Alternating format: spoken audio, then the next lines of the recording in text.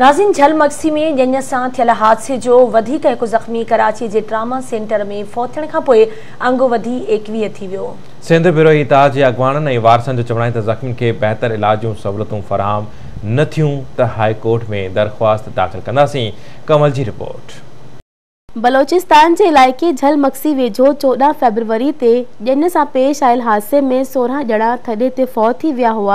एकवीह थिया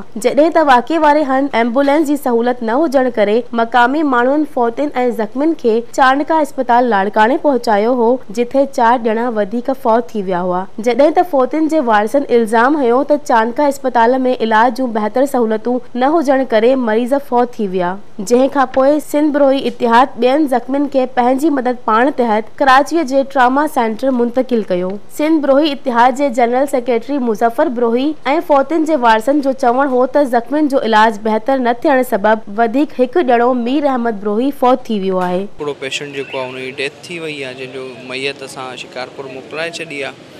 एकड़ो बियो पेशेंट भी है उनकी भी कंडीशन दाढ़ी क्रिटिकल है हिन टाइम ताईं असांखे कंहिं बि क़िस्म जो न रिलीफ मिलियो न कें सिंध या वफ़ाक़ गवर्नमेंट तरफा कें राब्तो किया आहे गुज़ारिश इहा आहे इनके जैसे खे ऑपरेट ना सन सही तरह सां छो टे का चार ॾींहं थी विया आहिनि टे चारि पेशंट आहिनि उन्हनि हेड इंजरी आहिनि उन्हनि ऑपरेशन जी ज़रूरत है पर शायद हिन सहूलत ना है या मसलो मसइलो अगर इनके कें प्राइवेट सुठी हॉस्पिटल में अगर पॉसिबल है इलाज थे या घट में घट इन सां मालिकनि सां गवर्नमेंट के इदार तरफा को राब्तो करे ग़रीब माण्हू आहिनि अगरि हिनखे आथ ॾींदो त हिननि जे लाइ मां सम्झा थो इहो ई काफ़ी बहितरु हूंदो को नथो अचे त असां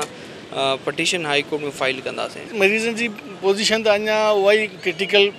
कंडीशन आहे हुननि जी अञा कोमा में ॿ पेशंट अञा बि कोमा में आहिनि अञा बि मतिलबु कोमा में निकिता न आहिनि ऑपरेशन चवंदा त अॼु कंदासीं सुभाणे कंदासीं अॼु सुभाणे सुभाणे इहो ई पोज़ीशन हले पई थो मुंहिंजा ॿ बाणा हिकु उन जेका हिन वक़्तु कोमा में पोज़ीशन आहे हिकु राति एकवीह अॻु में असांजा डेथ ई चुका आहिनि ऐं हिकु राति असांजो डेथ चुको आहे उनखां अलावा जेका डिपार्टी इंतिज़ामिया उहा बिल्कुलु सही आहे ऐं हुकूमत सिंध जे तरफ़ खां को बि माण्हू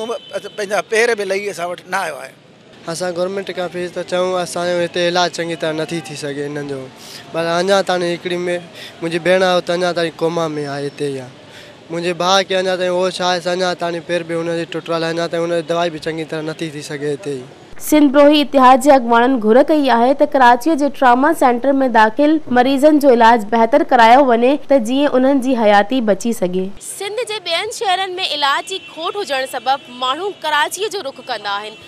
पर अफ़सोसनाक सूरत हाल है शहदाद कोट के मरीजन जो कराची के ट्रामा सेंटर में भी बेहतर इलाज न थी रहियो कैमरामैन जावेद सा गड कंवल आवाज़ न्यूज़ कराची